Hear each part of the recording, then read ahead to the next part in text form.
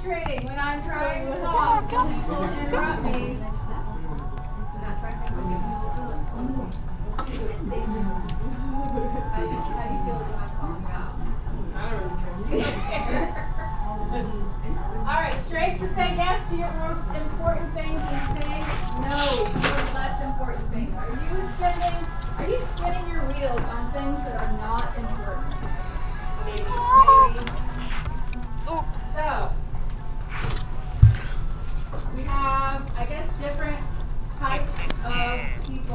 They spend Yeah. their time. The procrastinator. I Oh, think that's we, me. We all know who this person is. Who is the procrastinator a lot of times?